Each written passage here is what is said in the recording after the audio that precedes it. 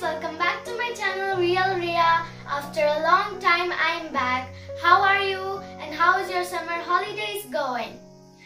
In my summer holidays, I've got two new books. This is Coding for Kids. It has mysteries, codes, puzzles and spies. The second one is Solmo Copy Color Mandala Art Book and I've colored many pictures like this. Today we have an interesting topic. It's called color wheel art. It's an art where you design a color wheel and make an art with it. There are so many designs for a color wheel art. I have selected umbrella. You should make an outer sketch like this.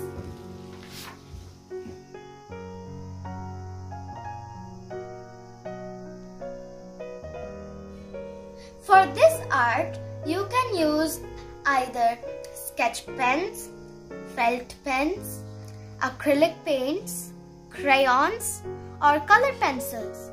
For easier purpose, I am going for sketch pens.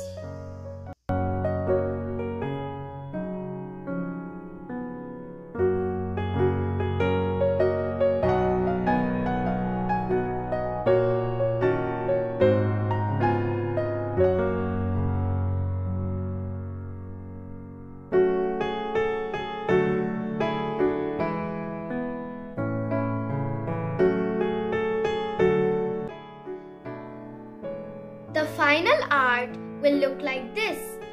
This is the color wheel. It looks like a wheel with colors. I hope you enjoyed making this art with me. Please like, subscribe and share. Bye!